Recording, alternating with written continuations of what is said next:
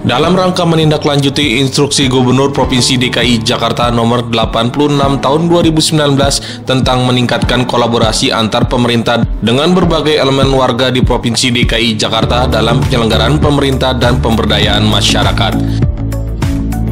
Wali Kota Kota Administrasi Jakarta Timur M. Anwar melakukan pertemuan koordinasi bersama para ketua RT RW dan lembaga kemasyarakatan di lingkungan Kota Administrasi Jakarta Timur di Gedung Serbaguna Kantor Wali Kota Jakarta Timur.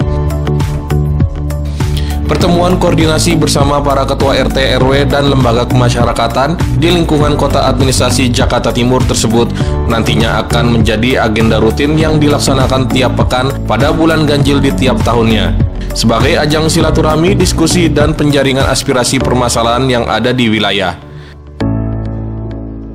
Wali kota mengatakan bahwa pertemuan ini bermaksud untuk meningkatkan kolaborasi dalam melayani masyarakat dengan itu, ia meminta kepada ketua RT dan RW serta lembaga kemasyarakatan lainnya agar turut bekerja sama serta berperan aktif dalam membangun wilayah dan menyelesaikan berbagai permasalahan bersama di wilayah. Ia menegaskan agar RT, RW, dan lembaga kemasyarakatan lainnya tidak hanya menyampaikan permasalahan di wilayah saja, namun juga dapat memberikan usulan dan saran yang konstruktif.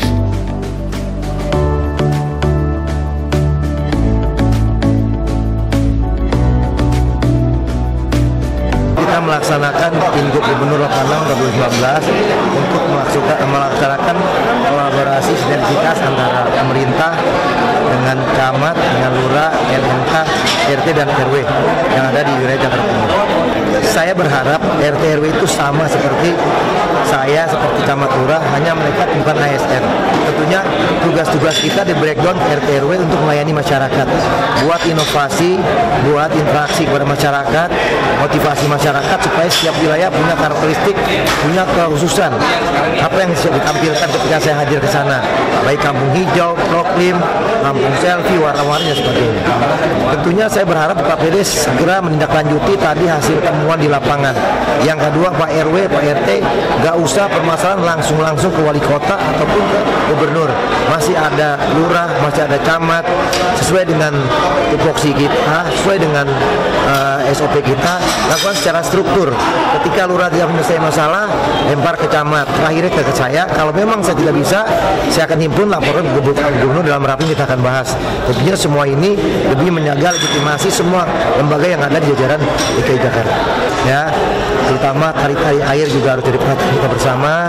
Pompa-pompa saya udah cek semuanya berfungsi dengan baik, termasuk kerja bakti kita aktifkan setiap minggu, baik Jumat ataupun hari Minggu. Tentunya saya sekarang setiap kerja bakti tidak mau dijadwalkan. Saya akan sidak ke mana seenak saya jalan aja. Katakan kalau udah ada interaksi dengan ajudan saya, saya akan batalkan. Saya akan jalan seenak saya, saya mau lihat lurahnya aktif tidak, RW-nya, LMK-nya, Dewan Kotanya aktif tidak di wilayah masing-masing.